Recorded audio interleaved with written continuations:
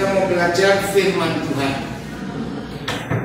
Tema yang kita mau pelajari hari ini adalah tentang dua saksi yang ada di Wahyu pasal 11 mulai ayat 1 sampai 14. Saudara, sebelum saya bahas ini, begini.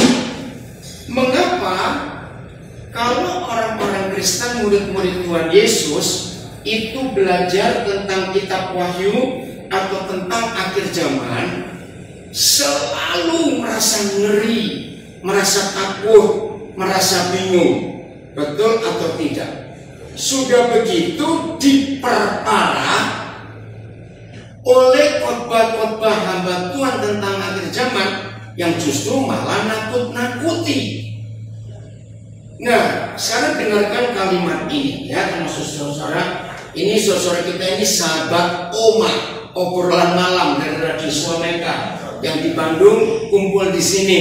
Ya, bagi beberapa saudara peserta uh, komunitas suara eh kok suara? Sungai kehidupan. Saya pasti tahu kan ada obrolan malam dari radio suara menara kasih yang di Nabire. Nah ini sebagian uh, sahabat Oma yang ada di Bandung.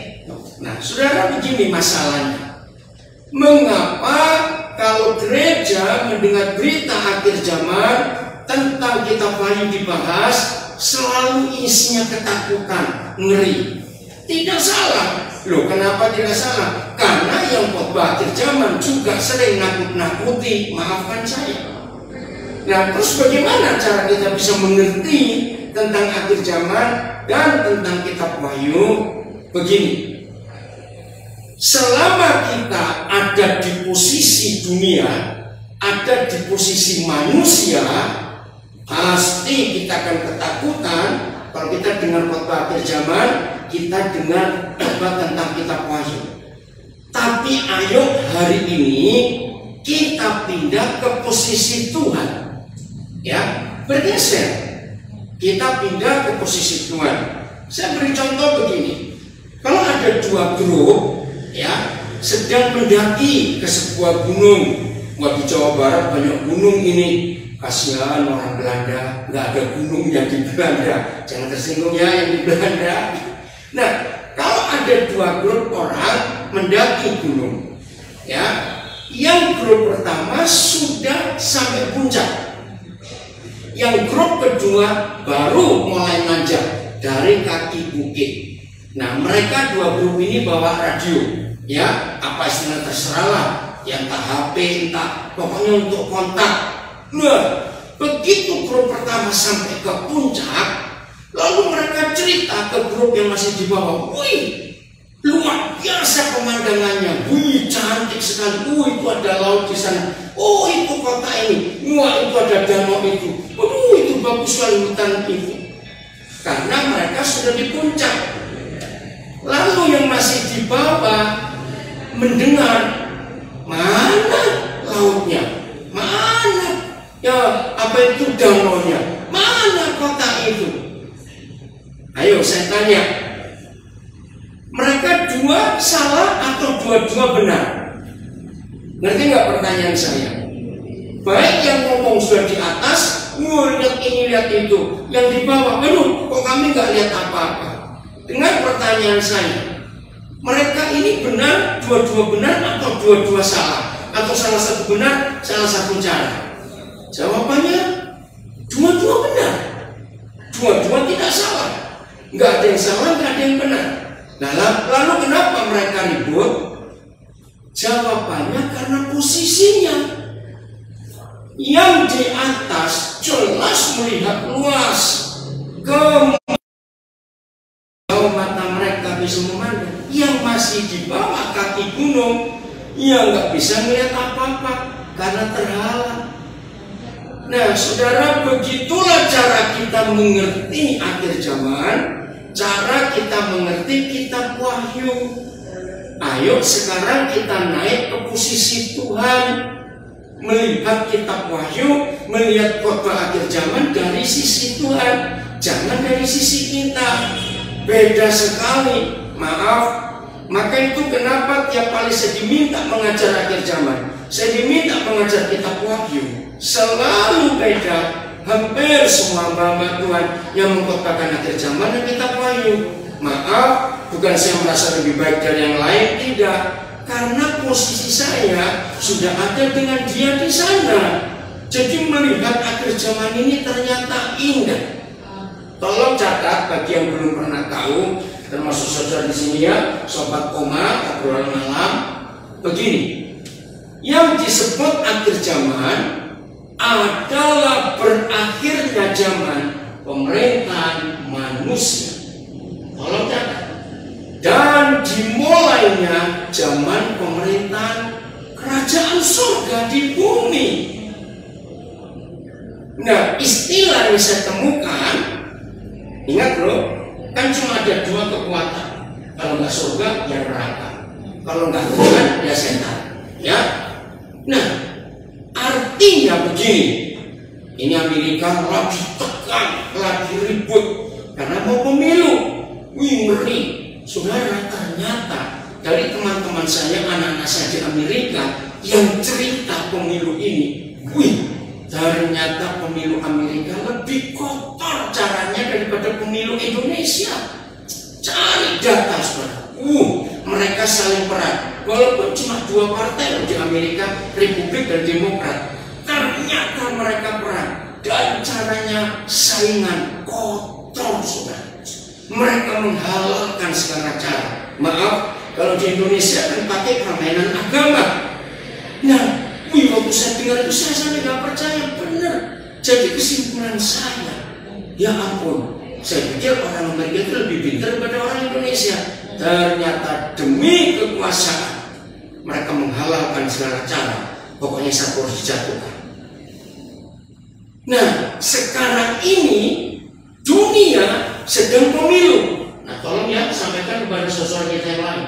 Dunia sedang pemilu, memilih pemerintahan baru. Nah, sama seperti Indonesia tahun 2019 yang lalu, kandidatnya cuma satu, nomor satu dan nomor dua. Nah, di Amerika juga cuma dua kandidatnya, Republik atau Demokrat. Nah, ternyata pemilu dunia ini sama, kandidatnya cuma dua, setan atau hantu, ya neraka atau surga. Nah ini sedang perang, sedang kampanye sekarang saudara untuk memilih satu. Nah kita lihat doa Bapak kami. Ini yang sedang digenapi oleh Tuhan Yesus. Bapak kami di surga, dikuduskanlah namamu. Datanglah kerajaanmu. Ini akhir zaman. Datang kerajaannya dan jadilah kehendakmu nah kalimat yang betul supaya bumi jadi seperti surga nah seharusnya akhir zaman dan kita wahyu itu menyenangkan sebab gereja harus memilih dari dua kandidat ini betul nah coba yang di sini tolong baca wahyu 11 ayat 15 ini yang sahabat Komaya seorang di rumah juga mengikuti Wahyu 11 ayat 15. Ini luar biasa. Seharusnya begini gereja itu. Jadi jangan takut tentang akhir zaman. Jangan takut baca kitab Wahyu. Wahyu 11 ayat 15. Udah? Kita baca. Sudah belum? Ya, satu, dua, tiga.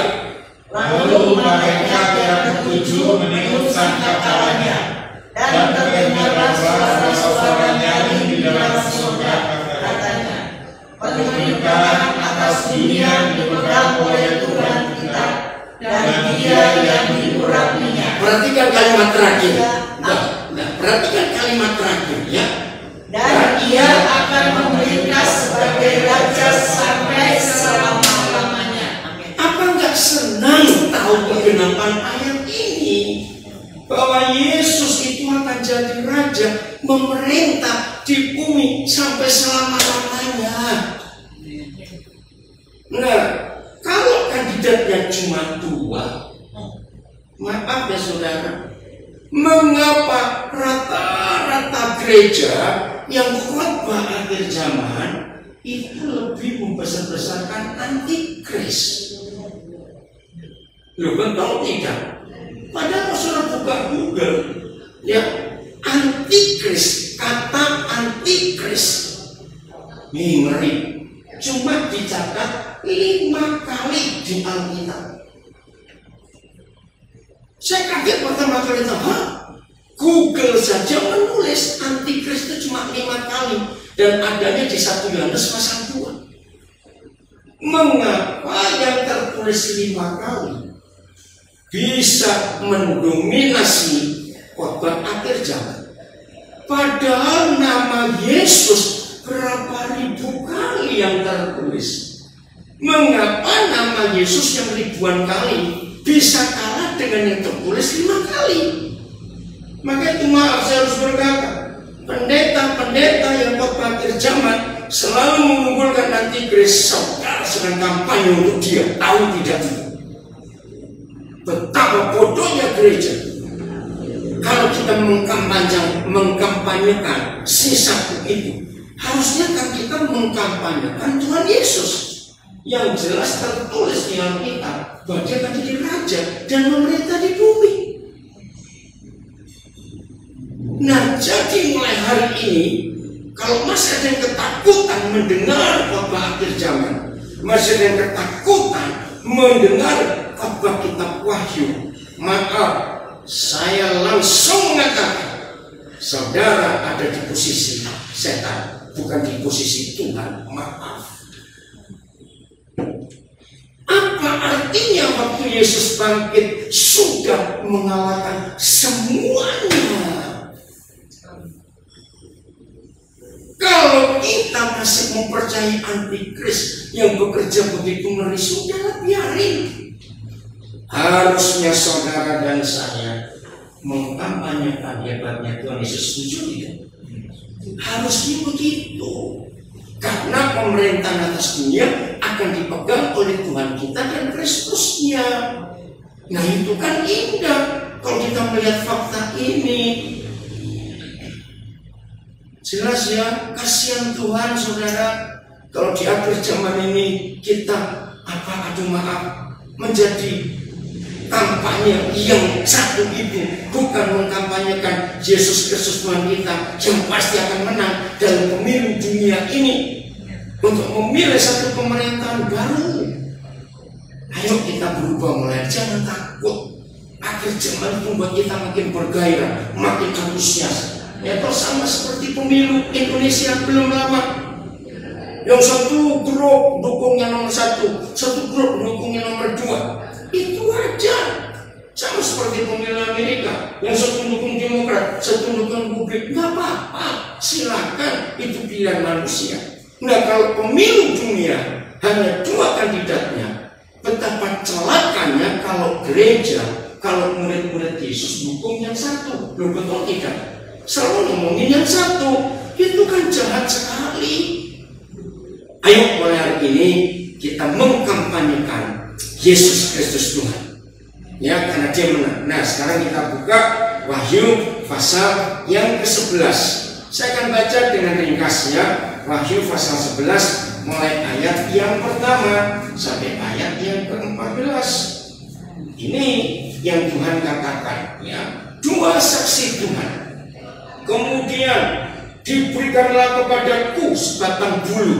Bulu itu zaman dulu kalau mengukur kan belum ada sentimeter. Jadi pakai batang bambu yang sudah ditentukan secara internasional zaman itu. Bukan sebut meter, hasta. Ya, nah ukuran ini sudah baku ya. Seperti tongkat pengukur rupanya dengan kata-kata yang berikut. Bangunlah dan ukurlah bait suci Tuhan dan mesbah dan mereka beribadah di dalamnya. Jadi yang akan diukur itu bukan dunia ini, tetapi saudara dan saya hidup ibadah kita, hidup kita sebagai murid-murid murid akan diukur. Tahu kata diukur, dicocokkan dengan standar surgawi. Saudara, saya percaya dulu ini tongkat pengukur ini kalau sekarang kita lihat adalah COVID-19. Ngerti nggak maksud saya? Loh, kenapa COVID-19? Karena sekarang lihat dengan adanya COVID-19 gereja dimurnikan atau tidak. Dengan adanya COVID-19 yang namanya pelayanan dimurnikan atau tidak. Secara luar biasa, maafkan saya. Berpuluh-puluh tahun. Kalau sudah Jumat sore, hamba-hamba Tuhan, para pengkhotbah, worship leader, WL, singer, pemain tamburin, pemain musik, ushers, maaf. Sudah sibuk mulai Jumat sore. Maaf, bukan sibuk untuk ngurus hati mau pelayanan minggu, tapi sibuk ngurus baju yang mau dipakai minggu itu model apa. Saya berkata betul atau salah? Ngeri, Uh, dengan lampu-lampu yang bergemerlapan, dengan LED yang ratusan juta, dengan sound system musik yang wow. Maka itu orang ibadah nggak beda dengan ke nightclub, ke disco, maaf. Rasanya kau sudah gelap gelip, sudah begini, sudah begitu musiknya meriah. Itu Tuhan hadir, Silakan ngomong begitu. Tapi setelah COVID-19 muncul, mimbar gereja sudah tidak laku lagi. Ini ukuran. Kita sedang diukur hidup rohani kita. Sudah betul belum menurut firman Tuhan ini? Wih, ngeri. Jadi bersyukur kepada Tuhan. Maaf saudara, jangan tersinggung ya. Yang belum tahu gak usah tahu apa. Berapa kali saya diundang khotbah di gereja-gereja besar. Ternyata tidak sedikit belum gereja. Maaf ya, maaf ya. Jangan tanya gereja yang mana. Itu istri-istri pendeta, istri gembala. Itu bawa pastor sendiri, bawa orang salam. Pertama saya lihat, loh apa dia menikah? Oh enggak Pak, ini untuk ibu gembala. Karena kalau sudah dua kali kebaktian, nah kemarin benar mulai apa? Nah itu mereka datangnya lagi bu, saya luar biasa juga. Ada yang tahu nggak? Nah ini luar biasa. Sekarang enggak. Jadi gelombang PHK di masa COVID-19 itu tidak hanya untuk karyawan pabrik, karyawan perusahaan gelombang PHK di masa COVID-19 termasuk penyanyi, pemusik, pelayan gereja di PHK semua. Masih perlu dirumahkan. Maaf, saudara. Jadi COVID-19 itu menggenapi ayat satu Wahyu 11. Sedang diukur sudah cocok enggak dengan standar surgawi hidup kita ini? Doa-doa penyembahan yang sebelum COVID ini hanya dilihat waktu kita di gereja. Oh, kita nyanyi-nyanyi lagu-lagu penyembahan yang wah. Oh, dengan rohani, suasana yang syadu, suasana yang apa. Terus kita angkat tangan. Oh, terus mata kita merem-merem. Oh, terus kita menangis. Maaf hari-hari ini nggak laku semua Tuhan melihat kesungguhan kita ketika kita di luar gedung gereja ya begitu saya baca lagi kemudian diberikanlah kepadaku sebatang bulu seperti tongkat mengukur rupanya dengan kata-kata yang berikut bangunlah Yohanes ini Yohanes uh, murid Yesus bangun kamu berdiri ukurlah bait suci Berani berkata bait suci di Yerusalem? Salah. Siapa bait suci sekarang? Diri kita, hidup kita, seumur. Diukur pakai apa? Satu bait suci diukur, kedua mezbah. Kenapa harus mezbah? Karena ibadah dalam hukum Taurat ditentukan oleh mezbah korban. Nah selama ini kata mesbah korban banyak abad Tuhan yang prosperity gospel, Injil kemakmuran selalu berkata persembahan uang salah. Roma 12 ayat 1 dan 2 jelas persembahkanlah tubuhmu hidup ini bukan uang. Banyak orang Kristen sudah memberikan uangnya, tapi belum tentu memberi hidupnya. Nah ini konsep yang salah. Dipikir kalau sudah memberi uang kepada Tuhan terus bebas. Aku bisa buat ini buat itu. Yang penting aku sudah memberi persembahan. Ini jahat di mata Tuhan. Ukur mesbah kurban itu yaitu persembahan tubuh kita ini. Dan dikatakan mereka yang beribadah di dalamnya. 1 Petrus 4 ayat 17 disebutkan. Saya bacakan aja ya supaya saudara tahu. 1 Petrus 4 ayat 17 ini menakutkan. Karena sekarang telah tiba saatnya penghakiman dimulai. Dan pada rumah Tuhan sendiri yang harus pertama-tama dihakimi. Ngeri nggak sudah dimulai penghakiman dengan COVID-19 ini. Dan Bapak bilang penghakiman harus dimulai dari dalam gereja Tuhan, yaitu kita. Belum selesai. Dan jika penghakiman itu dimulai dari kita pada kita, bagaimana kesudahannya dengan mereka yang tidak percaya pada Injil Tuhan? Nah, Petrus menulis ayat 18 seperti yang terus Tuhan Yesus katakan di Matius 24 ya dan jika orang benar hampir-hampir tidak diselamatkan. Apakah yang akan terjadi dengan orang fasik dan orang berdosa? Wih, saudara, dengan COVID-19, puji Tuhan, orang benar sedang dimurnikan. Karena ibadah kita bukan ibadah yang dilihat orang, tapi ibadah yang dilihat Tuhan. Karena kita ibadah di rumah. Nggak ada yang lihat. Nah ketahuan bukan?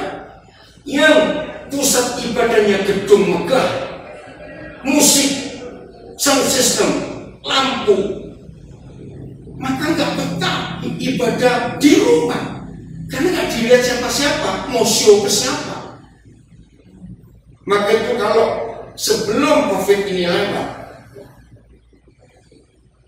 saya ulangi kalimat ini Sebelum COVID-19 ini lewat, kiranya Tuhan menemukan kita berkenan kepada dia.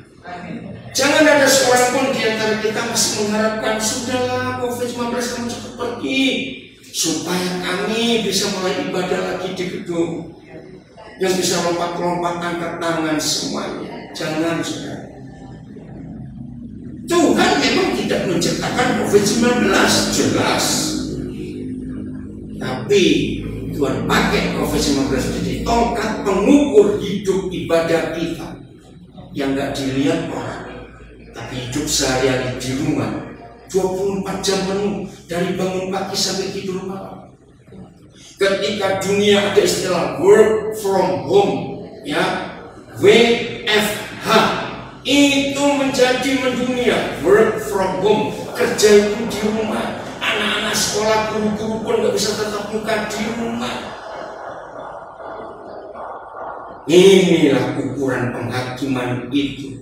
Sudahkah kita berkenan kepada dia dalam ibadah kita yang benar? Kembali ke Yohanes Wahyu pasal 11 ayat 2 sekarang.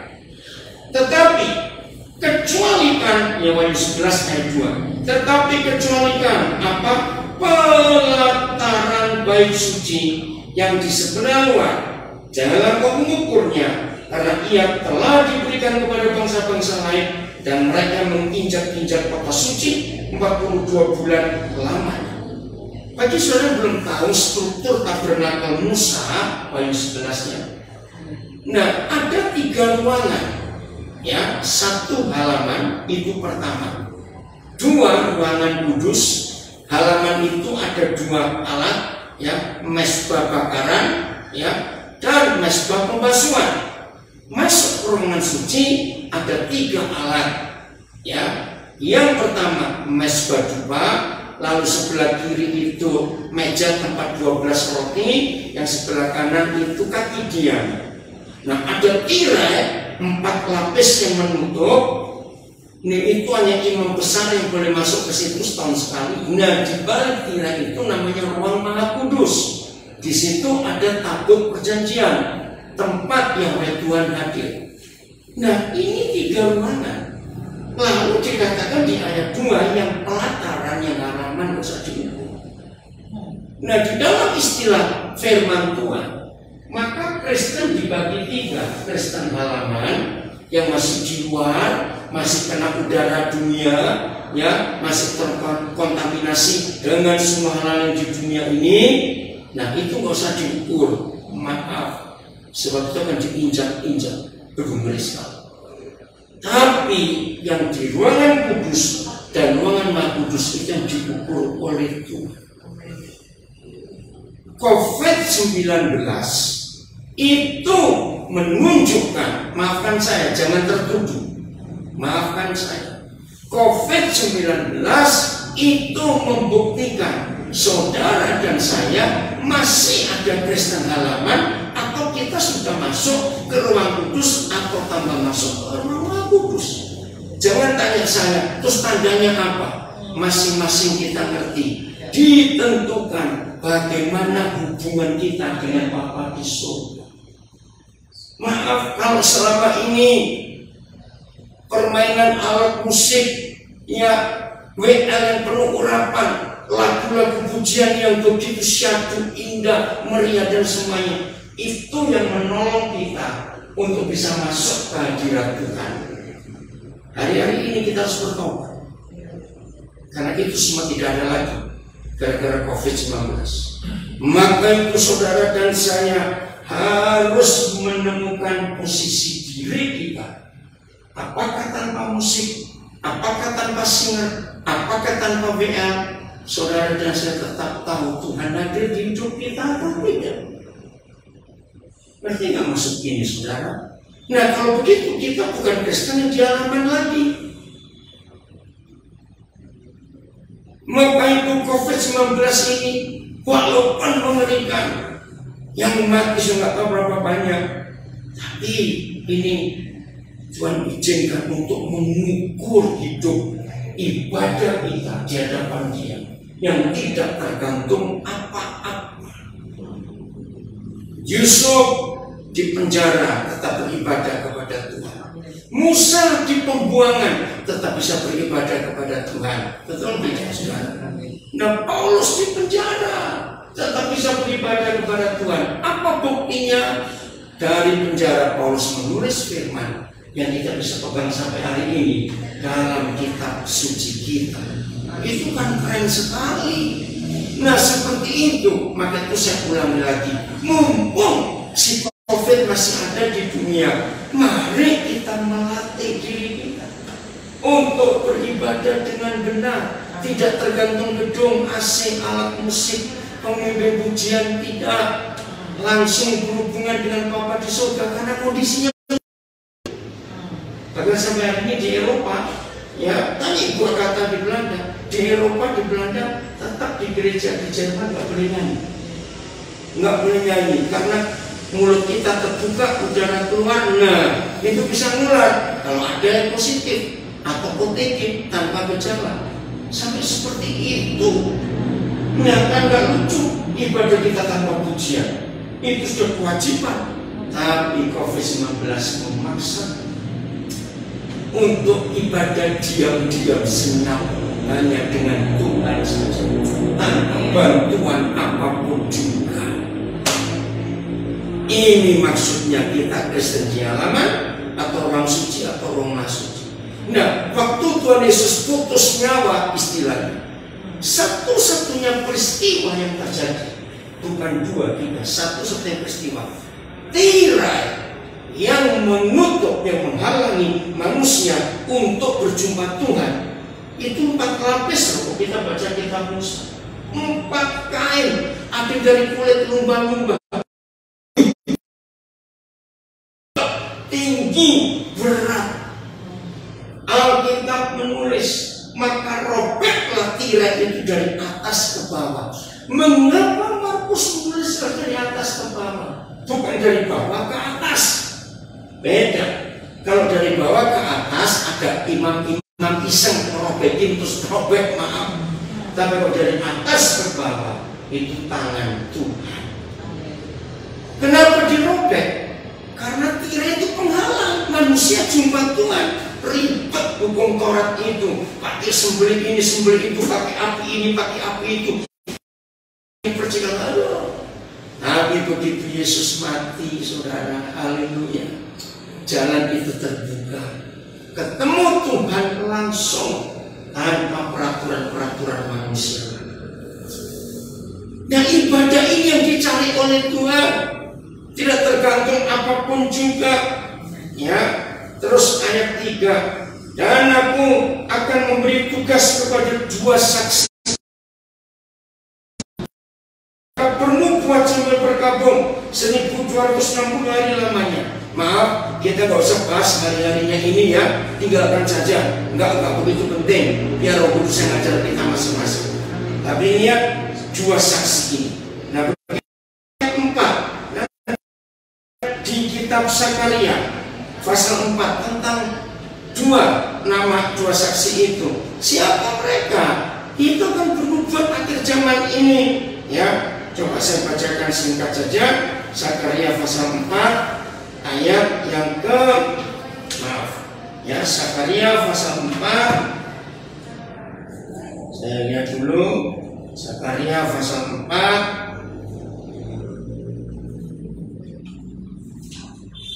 ayat yang ke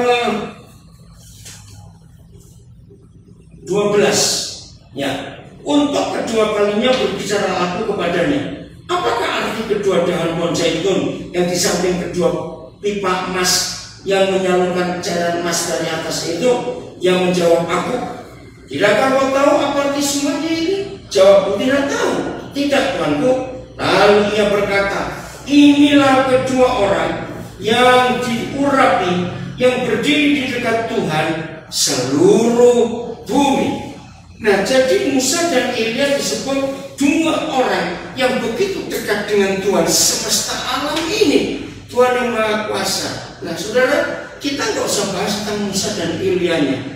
Tapi Tuhan memberikan dua saudara kita ini perbedaan urapan yang luar biasa. Coba perhatikan. Musa itu menerima hukum Elia itu punya kuasa roh kudus setan. Jadi maksudnya di akhir zaman ini saudara dan saya, saya ulangi, di akhir zaman ini gereja Tuhan yang benar harus hidup di dalam kuasa hukum Tuhan yang itu firmannya dan harus hidup dipimpin, dikuasai, diikat, dibelenggu oleh Roh Kudus. Itulah artinya Musa dan Elia. Karena memang dua saudara kita ini punya perbedaan yang luar biasa. Ini kebenaran yang kita saudara. Maka itu, ayo hari ini kita sungguh-sungguh hidup di dalam hukum Tuhan. Saya minta maaf lagi ya, tapi ini fakta. Sebelum ada COVID-19 tidak sedikit gereja maaf ya lebih mengutamakan musik dan pujian daripada firman. Maaf. Apa buktinya di banyak gereja karismatik seperti ini waktu untuk nyanyi katanya memuji Tuhan maaf sebagai kata katanya itu jauh lebih panjang daripada waktu untuk mendengar firman. Maaf ya, saudara jangan tersinggung. Nah, apalagi kalau gereja-gereja tersebut tem musiknya itu maaf jual album lagu-lagu mereka. Ngerti ya maksud saya? Maafkan sambil promosi albumnya jadi, jadi dinyanyikan ulang-ulang. Maaf karena jadi bisnis.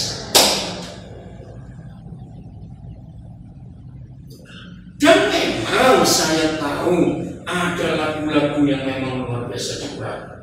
Betul tidak? Kita nggak boleh meniadakan. Tapi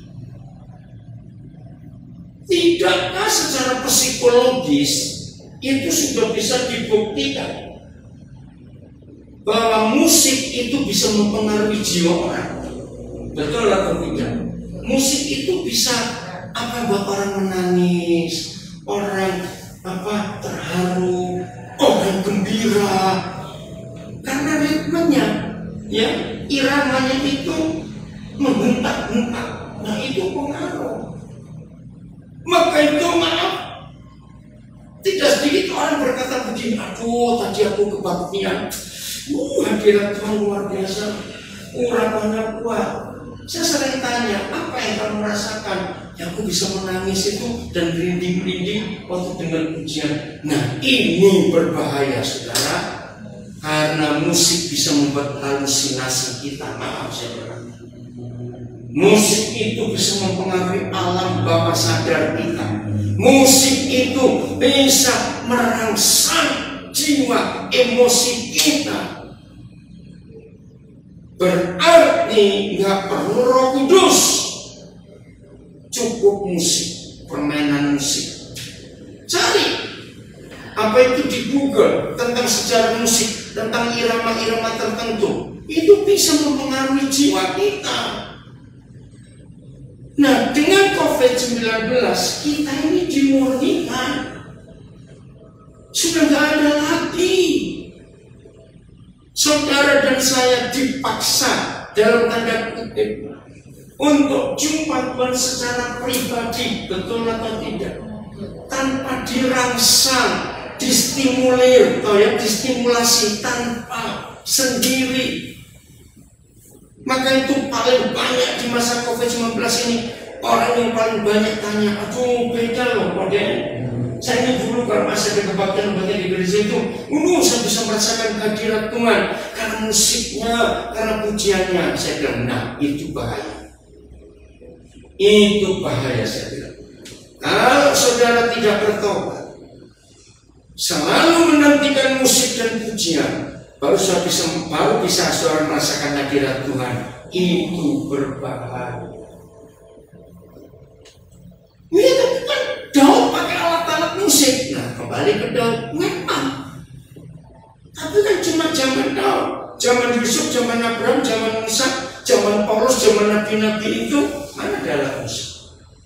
Tetap Tuhan hadir dan Tuhan berbicara kepada mereka. Dan kita punya firman sampai hari ini. Maaf ya saudara, maka itu COVID-19 memurnikan kita. Jadi dengan dua saksi Tuhan ini, saudara dan saya di akhir zaman di masa COVID-19 hanya diminta dan dituntut itu oleh kuasa firman dan kuasa roh bukan oleh kuasa musik. Maaf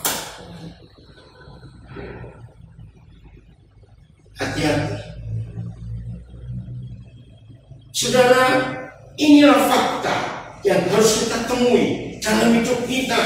Saya lanjutkan ya ayat yang ke 6 ya Wahyu 11. Mereka yaitu Musa dan Elia mempunyai kuasa menutup langit. Wah, hebat sekali. Memang ya.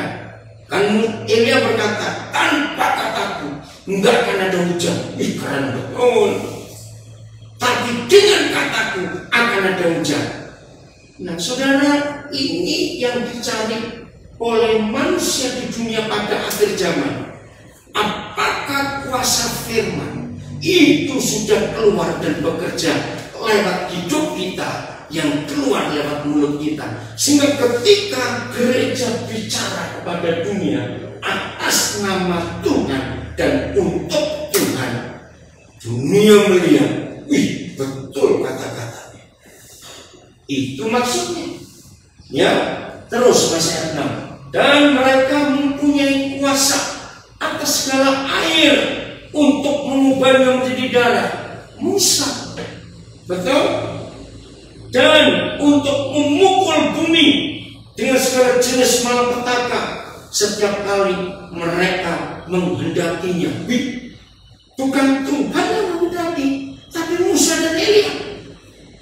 Nah seperti itu kerinduan Tuhan atas gerejanya di masa COVID-19 ini. Kata-kata kita sudah penuh kuasa seperti Musa dan Elia atau belum? Nah, kalau saudara melihat cara saya menyampaikan firman ini, kan nggak ada ketakutan. Justru kita dibuat berlomba-lomba untuk itu kuasa Musa dan kuasa Elia supaya dunia itu tahu. Kalian tahu kalau begini nggak usah takut dengan khotbah-khotbah zaman dengan penulisan kitab wahyu karena itu indah. Ayat 7 dan apabila mereka telah menyelesaikan kesaksian mereka, maka binatang yang muncul dari jurang maut akan memerangi mereka dan mengalahkan serta membunuh mereka. Wih, jangan takut. Wih, berarti kita akan dibunuh. Nah, itu salah konsepnya. Kalimat ini artinya dari hidup manusia kita akan diproses menjadi manusia pada tubuh kemuliaan. Lo kok bisa lihat waktunya ya? Dan apabila maaf ayat yang ke-8 dan mayat mereka akan terletak di atas jalan raya kota besar yang secara rohani disebut Sodom dan Mesir di mana juga Tuhan mereka disalibkan oke okay?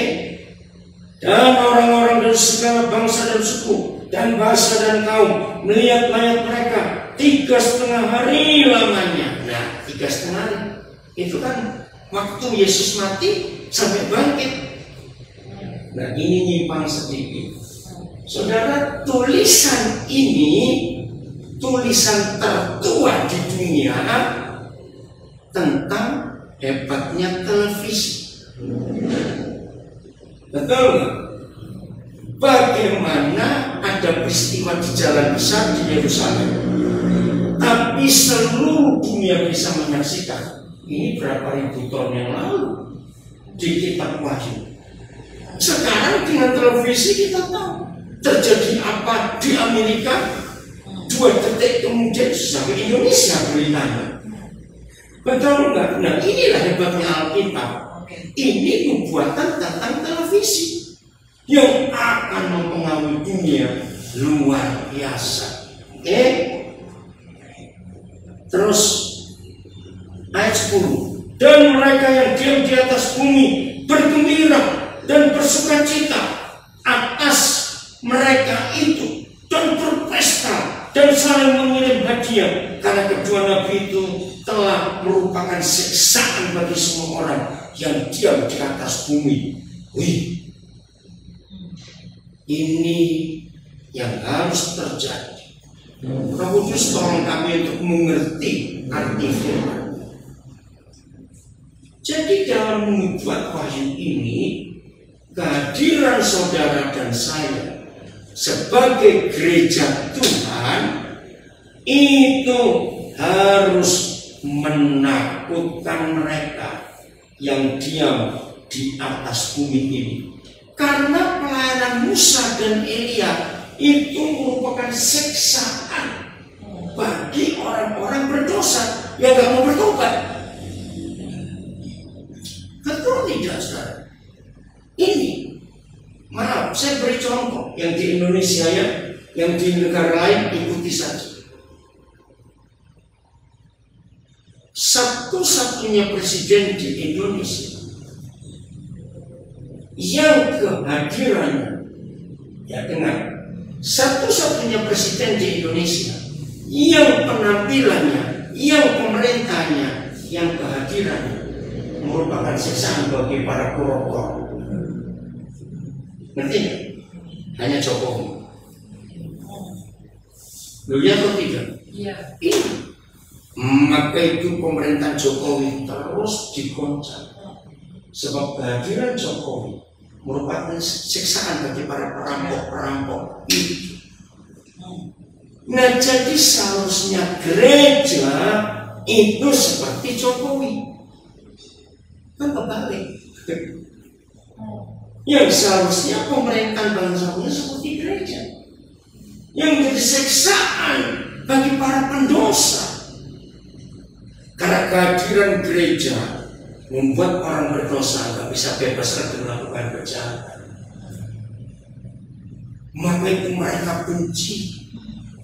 Lihat di Indonesia, semua dipersoalkan. Ngeri. Jangan main-main itu nubuat. Ya, lihat tanda salib dipersoalkan. Ya enggak? Kecat di perempatan jalan dipersoalkan. Saja dipersoalkan. Pohon cemara dipersoalkan yang nggak tahu masa tahu ini ya. Aneh. Nah iya bukti seharusnya gereja seperti itu menakutkan menjadi siksaan buat mereka. Tapi tunggu tunggu. Lihat ayat yang ke-11 diulangi lagi waktunya. Tiga setengah hari. Kemudian Saudara nanti cari buatan kitab Daniel tiga setengah masa, tiga setengah masa ada kata itu. Dua kali tiga setengah masa. Oke, saya nggak bahas makanya cuma menunjukkan saja. Tiga setengah hari kemudian masuklah roh kehidupan dari Tuhan ke dalam dua saksi yang dibunuh itu sehingga mereka bangkit dan semua orang yang melihat mereka menjadi sangat takut Jadi nggak usah takut dengan semua serangan ini. Cuma sebentar, tiga setengah hari, nggak lama. Saudara, dengan ini kita bangkit gak? Oh iya, oh iya, wih luar biasa. Maka itu ayo kita semangat mengerjakan pekerjaan Tuhan di akhir zaman ini. Karena Tuhan ingin dipermuliakan lewat hidup kita semuanya. Maka kemarin kita terima kuasa Musa dan kuasa Elia dalam hidup ini. Itu luar biasa sudah. Ini enggak untuk ini segera terjadi sudah. Maka itu lihat betul ya saya katakan di awal tadi.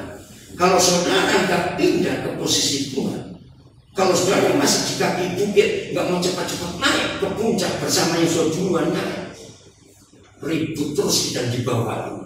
Karena memang kita nggak lihat apa-apa. Tapi kalau kita sudah naik ke posisi Tuhan wih melihat dunia ini semuanya jadi kecil. Betul nggak? Kecil di bawah kita semuanya. Maka itu kalau masih ada di antara kita yang melihat masalah itu besar padahal itu kecil. Kenapa kecil ya? Tuhan Yesus sudah bangkit Ingat Efesus 1 ayat 21 22 segala sesuatu telah diletakkannya di bawah kaki Kristus dan dia diangkat paling tinggi di antara semua nama yang ada di bumi. Nah, kalau dia ada di posisi paling tinggi dan menurut Efesus 2 ayat 6 saudara dan saya juga sudah didudukkan oleh Bapa di surga bersama Kristus. Berarti posisi kita juga di tinggi. Begini ilustrasi saya sebelum saudara bisa melihat dari ketinggian. Berarti kita masih ada di bumi. Kalau saudara dan saya masih di bumi melihat kesulitan kecil pun tetap gede karena di depan kita. Tapi kalau kita sudah ada di tinggi maka itu cek diri sendiri. Kita melihat masalah berhadapan gini atau kita sudah melihatnya begini Ngerti nggak maksudnya? Kalau saudara dan saya sudah di posisi Tuhan, kita melihat masalah itu begini. Oh iya, yang mana ya? Wih, kecil benar, nggak kelihatan aku. Tapi kalau selama ini kita masalah itu gede, di PHK itu masalah besar, nggak ada itu masalah besar. Aduh, kok sakit begini? Aduh, jangan-jangan ini COVID. Aduh, begitu. Berarti kita masih ada sejajar dengan mereka. Ngerti nggak ilustrasi ini sekarang? Ini kebenaran yang kita harus pelajari dalam hidup kita. Uh, serius sekali saudara. Ya, saya ulangi. Tiga setengah hari kemudian masuk roh kehidupan dari Tuhan ke dalam mereka. Sehingga mereka bangkit, Musa yang dibunuh bangkit lagi. Dan semua orang yang melihat mereka bagaimana? Baca ayat 11 dan semua ayat 12 oh, maaf ayat, ayat 11 dan semua orang yang melihat mereka bagaimana? Menjadi sangat menjadi sangat takut. Amin. Kan kebalik. Kan selama ini kita yang takut lihat mereka. Tapi kalau roh Musa Elia kepada kita dan posisi kita sudah pindah ke posisi Tuhan, mereka yang takut lihat kita. Maka itu mari kita tanya pada diri kita sendiri, kita ada di posisi yang mana? Ini kebenaran yang harus kita miliki dalam hidup kita. Jangan dibalik. Stop. Jujur saudara, jujur. Siapa yang masih ribut dalam kecil, tersinggung karena orang ngomong, tersinggung karena usul kita nggak diterima, terus kita ribut, tersinggung karena kita nggak dihargai, ayah, itu kecil-kecil. Bagaimana saudara akan menang melihat yang besar? Kalau cuma kecil-kecil aja kita masih kalah dalam hidup ini maka itu posisi kita itu penting. Sebelum kita lanjut, Wahyu 14 ayat 1. Coba ya, oh ini keren sekali. Wahyu 14 ayat 1 supaya kita tahu ya Wahyu 14 ayat 1. Mari kita baca di sini sama-sama. Satu, dua, tiga. Dan aku melihat sesungguhnya anak domba berdiri di bukit Sion dan bersama-sama dengan dia 144 ribu orang dan di mereka tertulis namanya dan nama bapaknya saudara ternyata inilah satu-satunya tulisan di seluruh Alkitab yang memberitahu kita bahwa suatu saat nanti saudara dan saya harus berdiri bersama-sama dengan Tuhan Yesus di Bukit Sion. Ingat di Yerusalem ada dua bukit penting, satu bukit Moria, itu tempat bait suci, dua bukit Sion, tempat istana raja.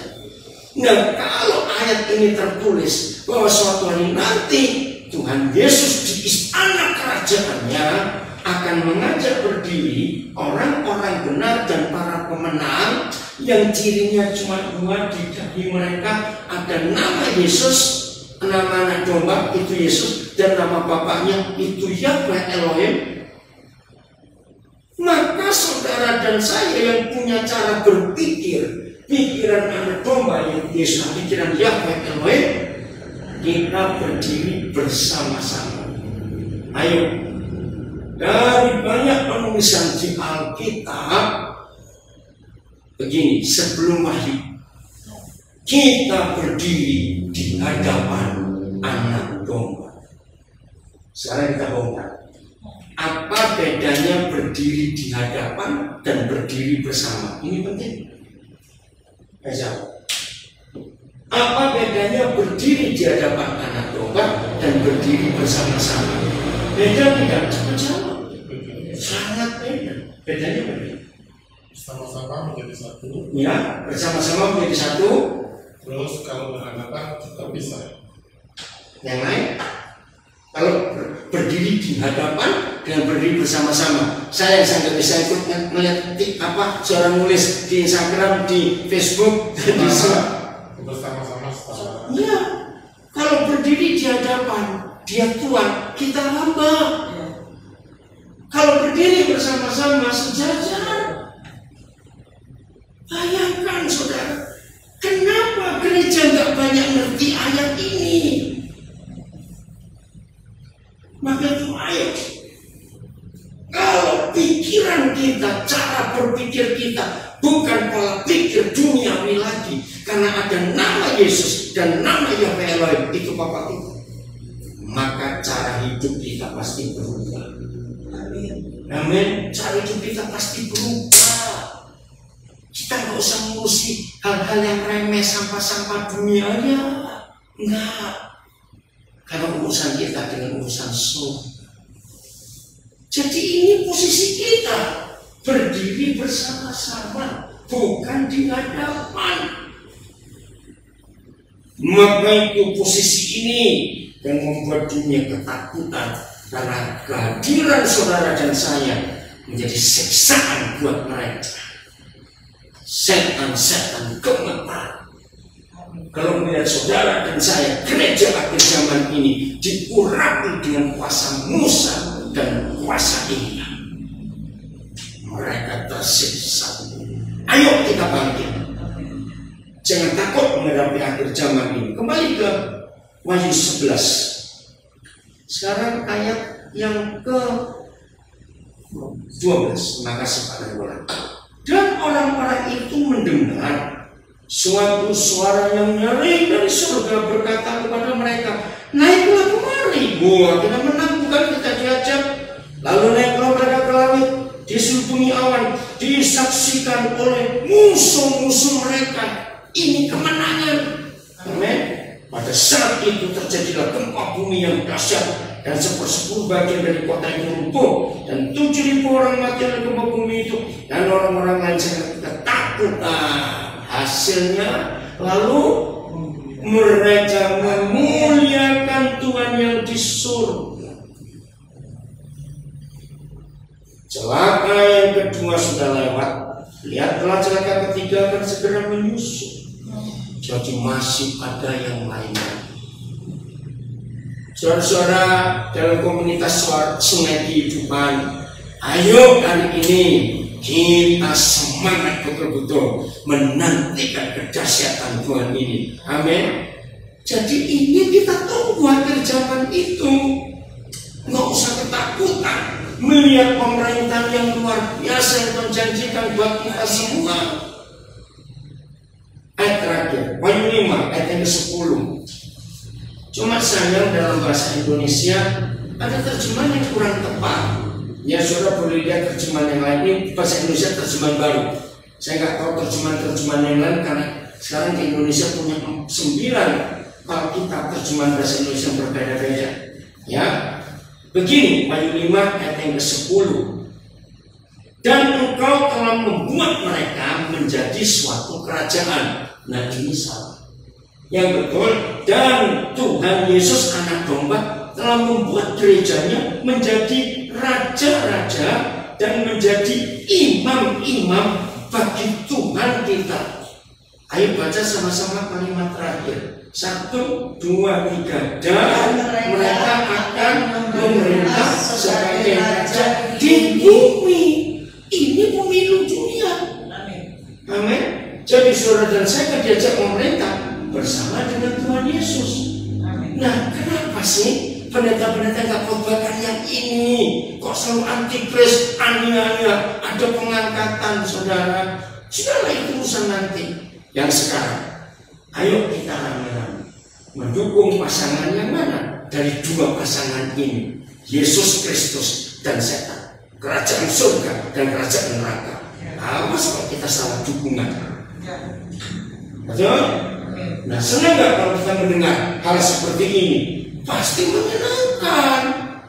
Karena dunia akan diperintah oleh gerejanya bersama dengan Tuhan Yesus. Ayo kita bersemangat, nggak usah takut melihat keadaan akhir zaman ini. Amin.